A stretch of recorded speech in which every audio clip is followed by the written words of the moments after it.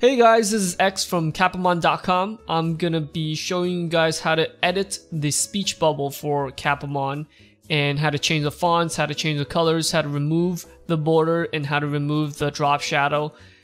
I want to show you guys the three different sources which all have their different uh, CSS properties edited. So um, so as you can see here is the bigger one and this bigger one will be the original Kappamon uh, speech bubble and these smaller ones are to be the edited ones with our desired effects. Okay, so let's start off with a normal attack command and as you can see here's all the different effects. This one has the orange color with a different font. This one doesn't have the borders or the drop shadow. So I'll show you guys how to do that. We don't need to take a look at this one because that's just the original, but let's open up this one without the borders. Um, here, I'm opening up the property window on OBS. I'll zoom in here a bit. So as you can, uh, you guys can see, we have the two different lines of CSS that achieves this no drop shadow and no border effect. It's very simple. All we type out is box shadow none and border none under the speech ID, right? So to annotate that, you just use the hashtag speech with the, parent, uh, the parentheses here and close it off. And then hashtag speech before with a little colon in between and close it off with the brackets as well, right? So this, the inside this, the CSS is actually exactly the same box shadow none, border none. You just paste it over, and there you have it. You you can achieve the no border effect.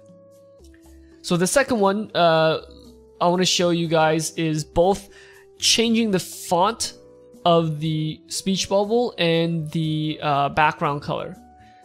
So here we also have speech and speech after. To change the font, all you need to type is font family and the font name that you want to use. So the font I'm using here is Azul. I want to specify that the font name that you guys are using must be in your computer system. So if I'm typing in Open Sans, I press OK, and then so I have Open Sans in my system. So you go, see, you go Open Sans and th that that's Open Sans right here. And the reason it looks so thin is because the font weight is only 300. Let's try 600 and see if that works. And now you can see with the font weight at 600, that changes the boldness, the thickness of the letters. So that's another thing that you guys can play around with. But if I have specified this Lato font, which I know is a Google font, but since I don't have it on my computer system, it just goes back to the default Times New Roman font, okay?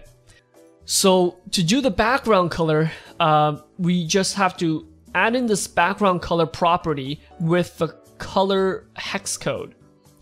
Uh, remember to add in the semicolon after every after every uh, property, by the way, or else it will not work. So background color the color hex code, or you can specify just blue or pink or whatever um, with the name, but that doesn't look as great. I, I could go pink, but that doesn't look as great. Um, I, am gonna go pink here, uh, just to show you guys.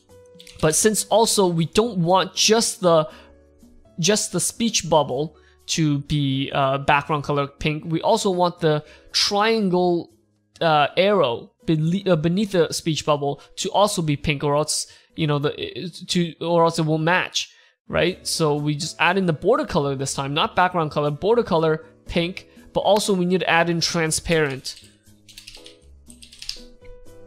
If we do not add in transparent, it will overflow. Actually, I will show you guys what it looks like without transparent. Okay, so here's pink without transparent, it's it's boxed out.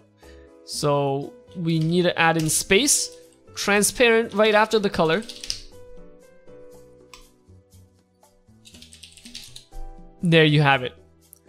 Um, and then and then just to cap it off, we want to border none We can keep the box shadow, but let's just say we don't want a border here. Um, border none.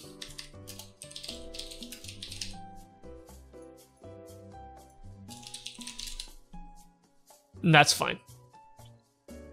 Oops. So the border none here, uh, you should, for for the triangle to not have a border, it's speech before, border none. Not speech after, after, that's speech, speech after is to affect the colors. Um, speech before is to affect the borders. So speech before, border none. And there you go. We still have the drop shadow because we didn't take that off, but the, there's no border and it's pink. All right. So I hope uh, this helped with uh, with you guys customizing. Would love to see what you guys come up with. I'm sure you guys can come up with a lot more creative, a lot more uh, aesthetically pleasing ideas than I can. So please share them with us on Twitter or on Discord. So yeah, this is a tutorial. Hope you guys enjoyed it. See you guys next time.